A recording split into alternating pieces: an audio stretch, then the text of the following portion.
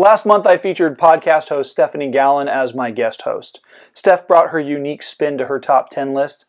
This month, I have her Reading Sirens co host Heather Pantoja stepping in to provide her own reading recommendations. So, here's Heather. Hey everyone, my name is Heather, and I am the other half of the Reading Sirens. And today I'm here to give you my top 10 female romance authors. So, first up, in number 10, we have Sara Ney. I love her series. She has one called How to Date a Douchebag.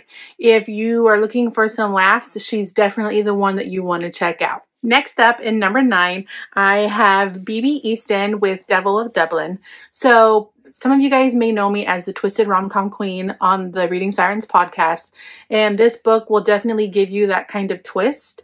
It's kind of like a dark romance, but it's so beautifully written that I highly recommend it. And BB Easton is super sweet. She also has one of her books turned into a show or a series on Netflix, I believe. So check her out. In the number eight spot, we have Sarah Echavarre Smith. This book on location was so sweet. It had me wanting to go and explore on my own, just like the main characters in the book her characters are so real and her family dynamics. You will be wanting to call up your grandmother, hang out with her, and just kind of reminisce if your grandparents are gone like mine.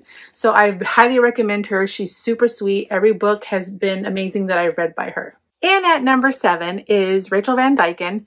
She writes a variety of genres in romance. She has dark and twisted, she has fantasy, rom-coms, I highly recommend her. She's super sweet. She's one of the most positive authors I've ever met. So you've got to check her out. And at number six is the Queen of Angst herself, M. Robinson. She's also co-written a book with Rachel Van Dyken. A couple books, I actually think, but her books I've been reading for a very long time, since probably like 2016, and there hasn't been one that I haven't loved. And she's also one that has the ability to write in different genres or like different tropes in romance. So I highly recommend her. She's got it all. And if you're not following her on Instagram, you're missing out. Okay, we're down to number five, and that is going to be the one and only Sonali Dev. Her books, it's like wrapping you in a hug. I've loved every single one that I've read. This one in particular was fantastic.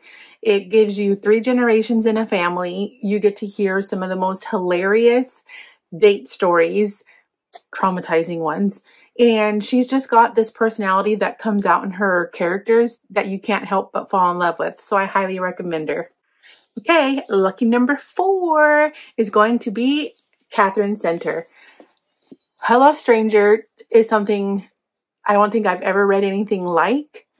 Her books all have real characters. To me, they're real characters. Like it could be somebody you'd meet on the street. And this one really teaches you a lesson of you work with what you got. So if you weren't able to see people's faces anymore, you would just look for other characteristics.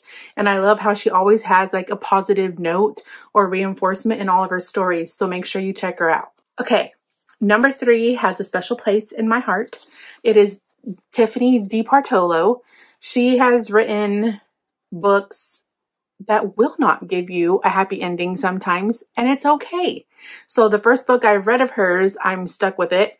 And this one was just as good. I waited to make sure I was prepared, but I cannot recommend this book enough. It's got the twists, the turns, the romance, the angst. I highly recommend it, and I recommend all her other books as well. Okay, number two is none other than Amy Harmon. And I read this book in 2016 and it still has the ability to pull emotions from me just by thinking about certain scenes. And if that can do it, if that book can do that to me, it's definitely has to be like in my top.